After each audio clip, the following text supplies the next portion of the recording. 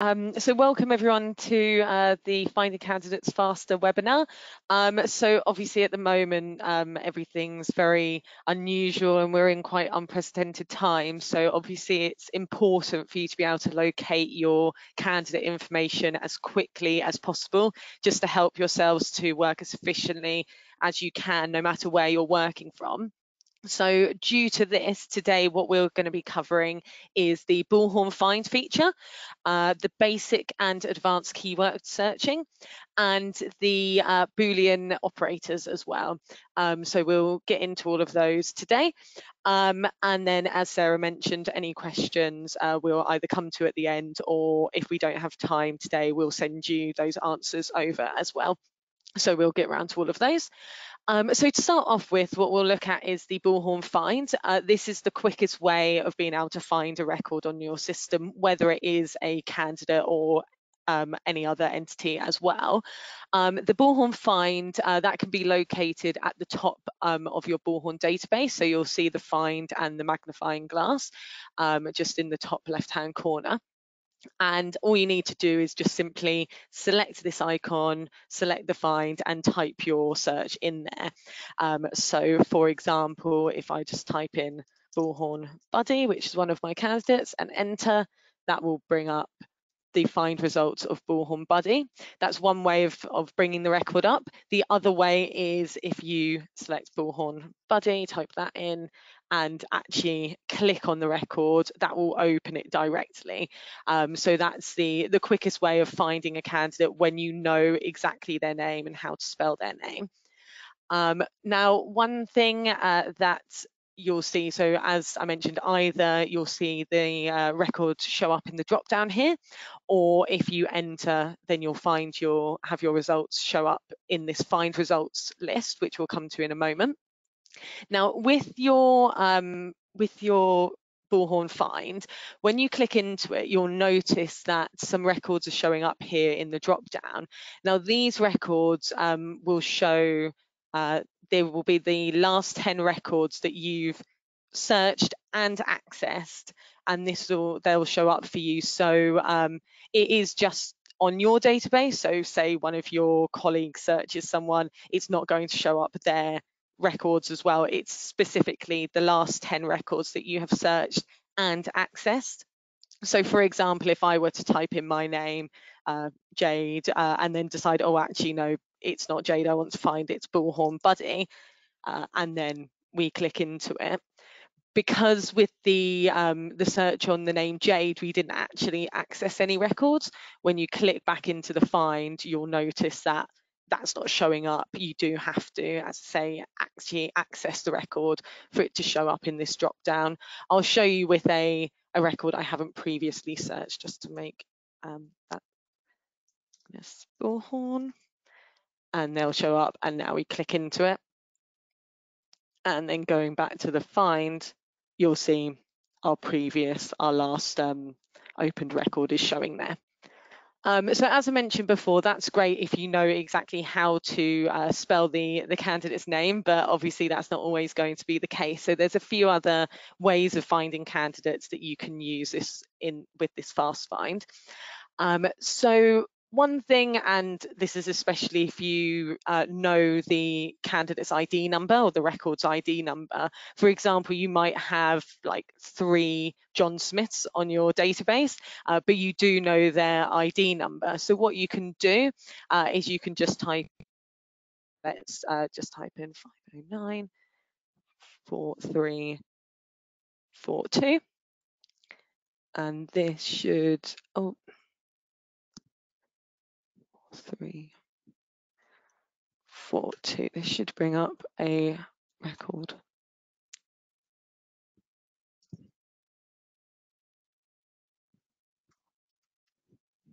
Another one.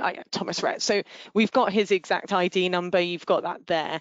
Um, the really good thing with the ID numbers is obviously they're unique. There's not going to be any other record with that ID number. So you can just type that into the Bullhorn find and that will bring up the, the record for you straight away and then you can open that. Uh, the other thing, you may not have the ID number. You know, obviously, if you've got thousands and thousands of records on your system, you're not expected to remember every ID number. Um, but as I say, you might not know how to spell someone's name. So what you can do is if we just type in bullhorn into uh, the bullhorn find, this will signify to the system that this is someone's last name. So it will bring up all the records with um, bullhorn as someone's last name. Um, and also if it's, you'll notice here, can, uh, sorry, client records and job records also are showing up. Uh, that's um, because bullhorn is a reference in those uh, titles. And if we just enter here with this find results, you'll notice that these are actually separated to do with the entity. So if we're looking at the candidates, we can see 50 candidates that all have Bullhorn as the last name. Uh, what you can do as well, uh, which is a really good little feature um, within the find results, is you can change the amount of records that are actually that show up that are filtered here. Um, so because we've got so many candidates, I'm going to change that to, to 50 but you can adjust that to suit you.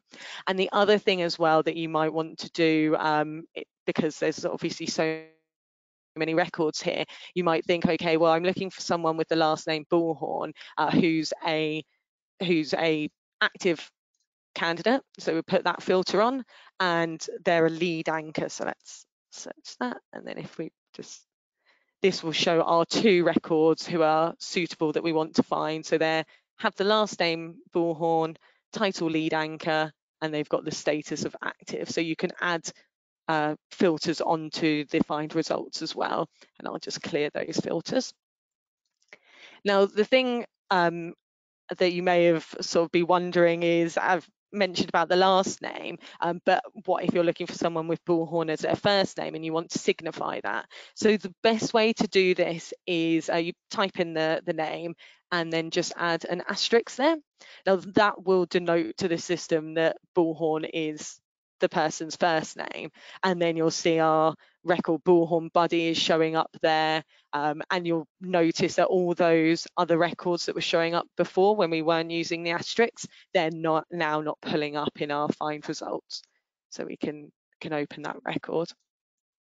Now the other uh, things that you can use in the fast find uh, is you can also use someone's email address. Now, this is really good because, again, going back to um, the fact that you uh, most likely have thousands of records on your database and a lot of them may have the same names. An email address, a bit like an ID number, is going to be unique. So that's another really good way of being able to search uh, on the uh, Bullhorn finds. So if I just type in Bullhorn buddy at gmail.com, uh, this will bring up that record again. Now you'll notice if you just put in part of the email address, it won't find something, uh, a candidate, you'll have to actually put in the whole uh, email address there. And then the other thing within the uh, Bullhorn find, another really good tip is that you can use people's partial names. Uh, so again, you may know someone's name, but you may not know how they spell their last name or perhaps their name is like Christine, but you can't remember if it's Christine or Christina, um, then using partial names can be a really good way of finding your candidate. And it's really quick as well, rather than trying to remember how to spell their name. Um, so if I type in so just put in bull and bud, and then you'll notice that bullhorn buddy shows up here and our record shows up. Um, so that's really useful, as I say, especially if you can't remember the spelling, you can just type in partially their name. And the other thing as well, if you're based in the US, you can also type in people's numbers into the bullhorn find and again being a um, a unique or maybe unique um, if it specifically if you're looking at contacts there may be contacts with the same number uh, under the same company but it will bring you up uh, and help you narrow down that search. And especially if it's a candidate it's um, likely that you're just going to have the one candidate with that number on your system. So that's another really good way of finding um, your candidates within the bullhorn find So moving on now to the um, searching and actually running a search within the candidate list. Um, so one thing to mention at the start before you run any search is I would always recommend just checking whether you have this red clear button at the corner of your uh, list view.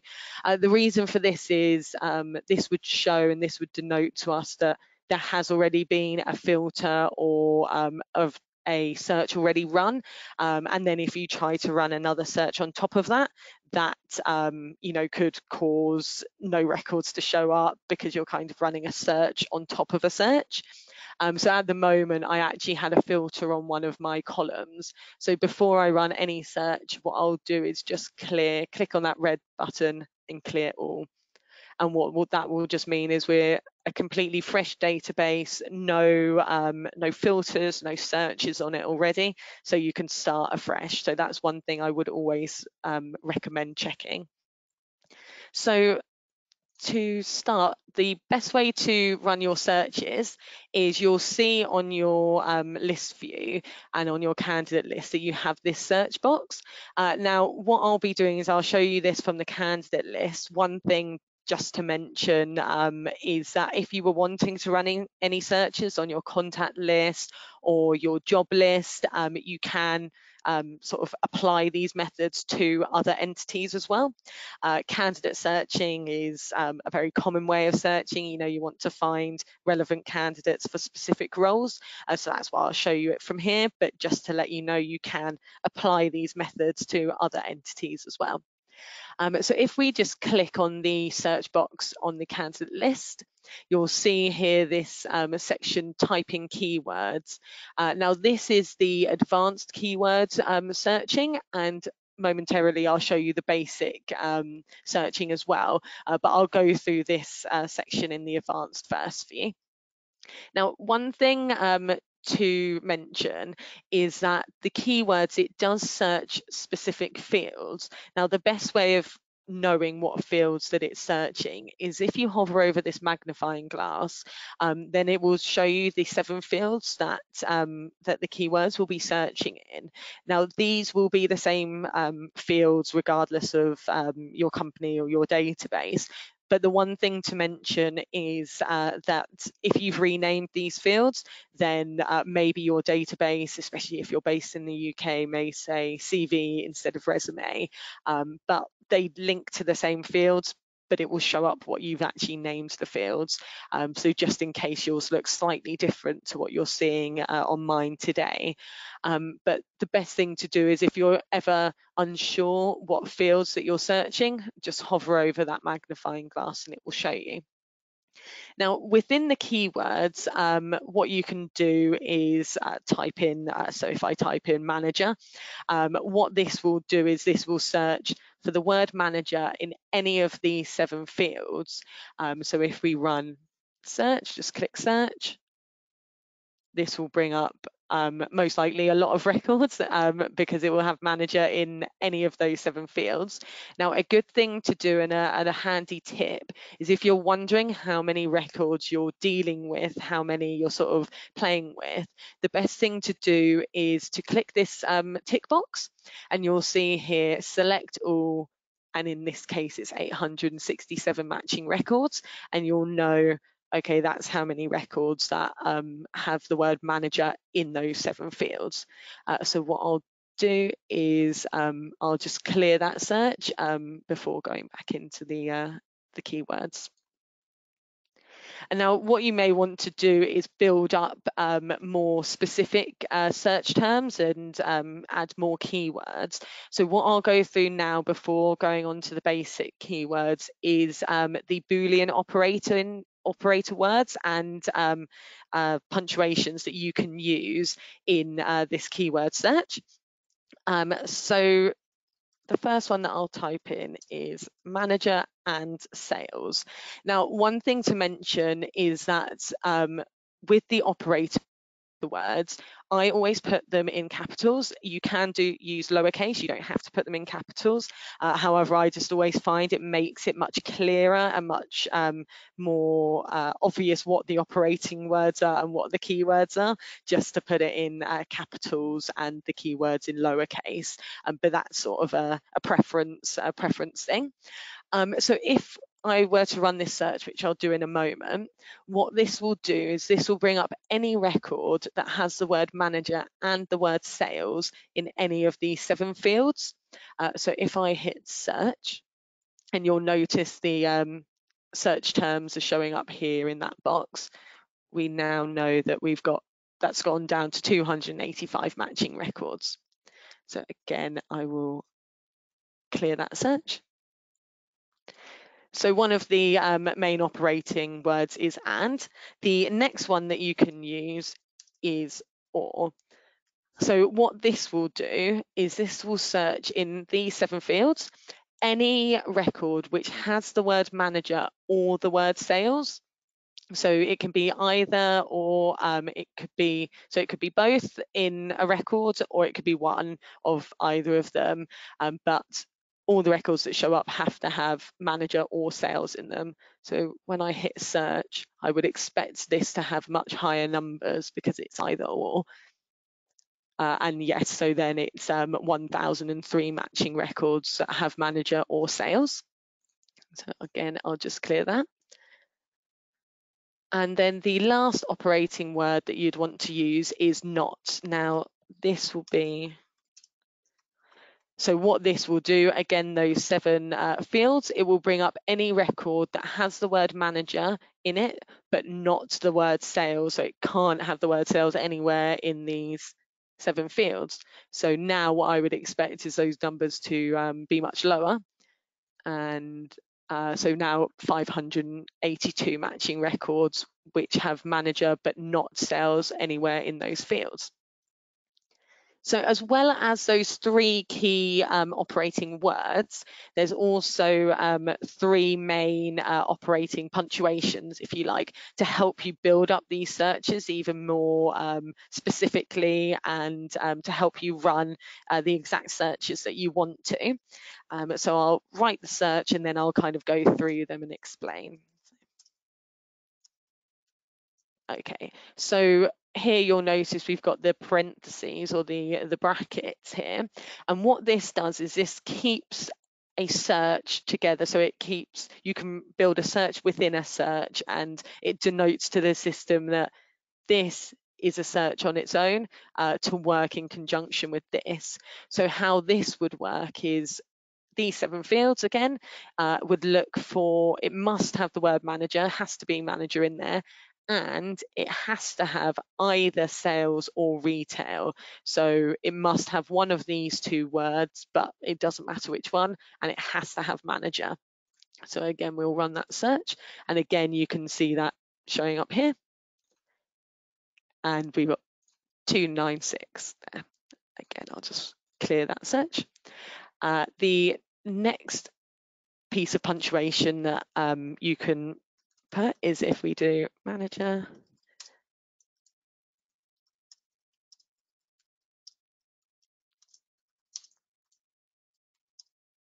So what this will do, what these speech marks will do, is this will denote to the system that this is a string.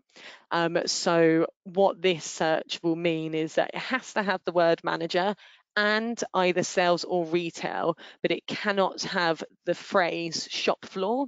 So the word shop could be in these seven fields. The word floor can be there. That's absolutely fine, though I'm not sure why they would have that, but they could. Um, but it cannot have the phrase shop floor. So now if we run that, and we've got 295. So the um, the best way to think of the um, speech marks is that it's a string and that it keeps together a phrase.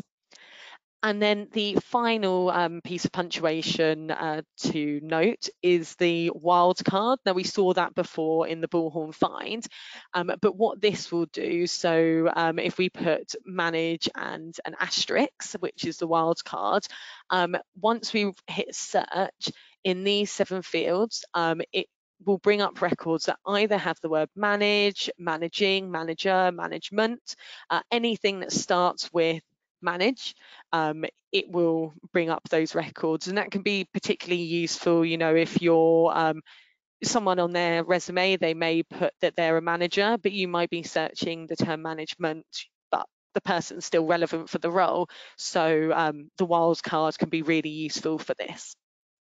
So what I'll go on to next is the um, basic keywords. Now, what you can do is this would depend on how you prefer to search. You can either build up your searches in the way uh, that I showed you there, or if we switch to basic, you'll see that you've got particular um, sort of sections where you can put the required words, the optional or the excluded.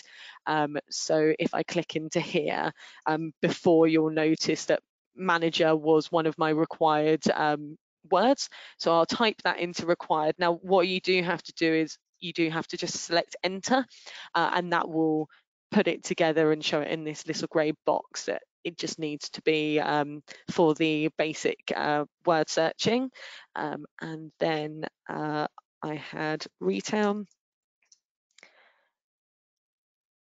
and uh, then my last one was sales. So this search is the manager and and then in brackets retail or sales. That is the same search but we've just specified on the um, basic search section um, that it's required or optional. And then you know I could put shop floor in the excluded as well.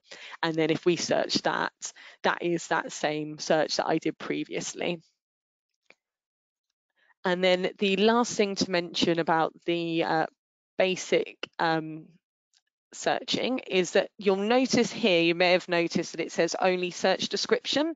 Now, if we select that, that will change to instead searching those seven fields that I mentioned before and we saw on the magnifying glass, this will now only search the resume or the CV section.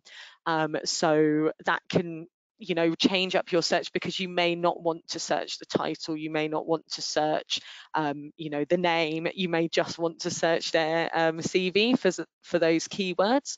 Um, so when you select only search description uh, i'll just hit search as you'll notice there was nothing there but the reason for that is now if we switch back to advanced and hover over the magnifying glass uh, you'll see that the default searches is now changed to show you just the resume so again, it's always quite good to hover over here just to make sure that you hadn't maybe selected only search description before because you'd need to change that back just by unchecking that. Perfect. So that's um, all the uh, information that I wanted to go through today. Uh, so I'll now hand back to Sarah for a quick Q&A. Perfect. Thanks, Jade. Our first question is, how can I save a search that I'm running quite frequently? Yeah, sure. So um, what I'll do is I'll run a search myself um, just to uh, show you the best way to do that. So I'll just hit manager uh, and then hit search. Now, if you're running a search really regularly, instead of having to remember, say, every month exactly what you're putting in, what you can do is when you first run that search, once you've run it, if you hit this favorites drop down, uh, and then you're seeing here, these are actually favorites that have already been saved. But if we go to save this search and then just type test. Now, if you've got it set to private, this will be so that only you can see this saved search, which you might just want to have to save sort of uh, the list on everyone's uh, favorites getting too long. Uh, but if you want to share this search with other people, just hit public. You can either share it with everyone, you can share it to a specific group or department, or you can set, share it with just specific uh, users. So say, for example, if I type in uh, Colleen, I could select my um, colleague Colleen, and when I save that, uh, it would be shared between myself and my colleague. Uh, so what I'll do is if I just hit save, and I'll just save that test for now, uh, clear that, and then say a month's gone by and you want to run that set that uh, search again, just hit favorite, hit test, and then your search will come up again. Great. Next question is, will Bullhorn automatically save my most recent searches if I want to go back to them? Uh, yes, so um, you may have noticed when I hit this search box that there's this tab up the top that says recent. Now, if we click on there, our top, my last um, 10 searches, my last 10 searches will all show here um, in the recents. It will just show 10, a bit like with the Bullhorn Find, and it will just show your own, again, similar to the Bullhorn Find. It won't show other people in your um, using the same database as you. But this is obviously really useful, say if you're running a search today and then something comes up, so you have to clear your filters, uh, then tomorrow you can just go into here and think, oh yeah, it was about a uh, quarter to three when I ran it, so let's just hit that. And that brings up the same search again. All right, next question is, once I have run a search, is there a way to see a quick view of a candidate's profile or will I need to click the entire profile to view the information? Uh, yes, so the um, what you can do and uh, what I'll show you now is you can actually use these uh, binoculars to see certain bits of information. You can also, another thing you can do is add specific columns to your list. So you know, from running that search, we can see with Claire Maddox her status and her title. Um, but if we hit these binoculars, uh, then this will bring up uh, a details tab where you can see any tasks, submissions, you know, interviews, a bit of a, a summary about her.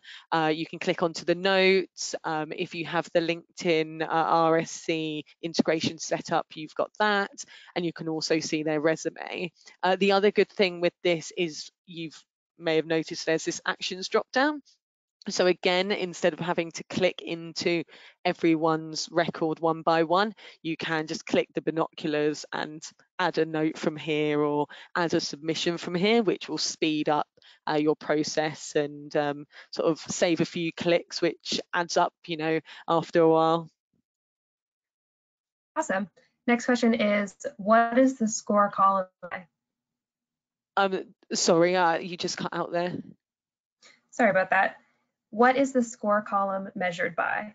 Yes, sure. So this score column, um, there's a bit of uh, sort of maths behind the scenes here that um, brings this up. But um, if I just hit this help section, and what you can do is with this score uh, column, you can actually yourselves log to the help and any uh, information, any documentation you can see here.